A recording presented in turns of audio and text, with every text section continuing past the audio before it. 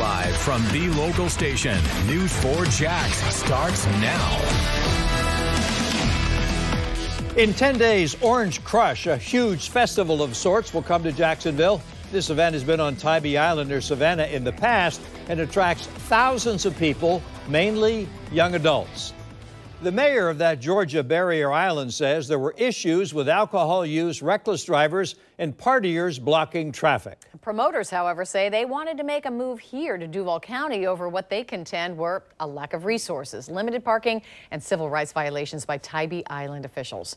Now, this map shows some of the locations where the festival plans to hold events here in Jacksonville.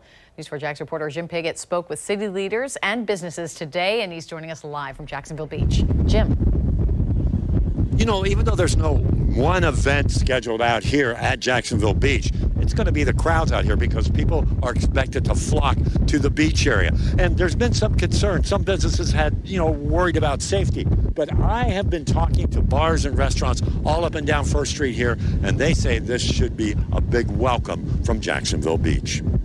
This is video of Tybee Island, Georgia in 2018. Thousands of young adults hit the beach for the Orange Crush Festival. The mayor of Tybee says there were issues with alcohol use, reckless drivers, and partiers blocking traffic. The mayor also says in 2018, promoters didn't have a permit for the gathering.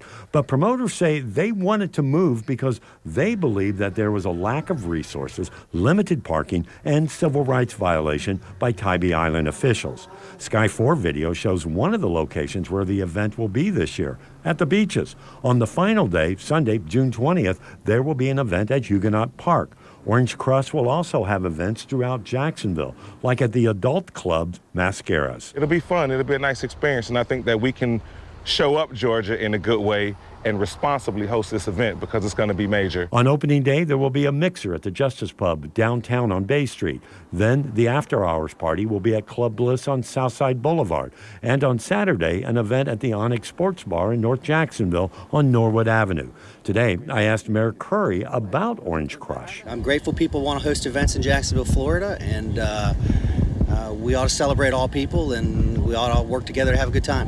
Have you been talking to them though? And are you, I mean, are there any contingency plans? Because there have been. I, I know, I know members in my office have been in touch. I know members in public safety sector have been in touch, and uh, everybody's working together. I also checked in with the Visitors and Convention Bureau in Jacksonville. We continue to, to make our um, services available for Orange Crush for um, to help them with anything they need, and keep reaching out to them to see what, what their needs are for the event coming up, and, and looking forward to welcoming them, the visitors to town. City Council member Joyce Morgan says she's asking questions about what to expect. I'm really not concerned, and I'll tell you why.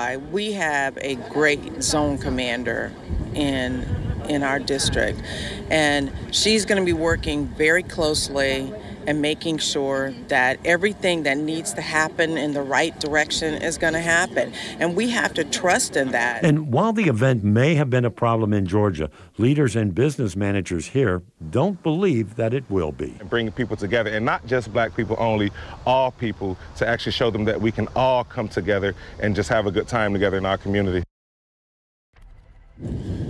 You know, and of course, I reached out to the promoters of the event and have not heard back from them today, just trying to find out what type of cooperation that they're getting from the various city agencies.